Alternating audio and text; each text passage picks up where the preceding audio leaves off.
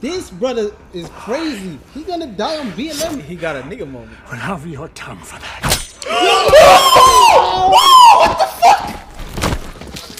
Yo! He can keep his tongue.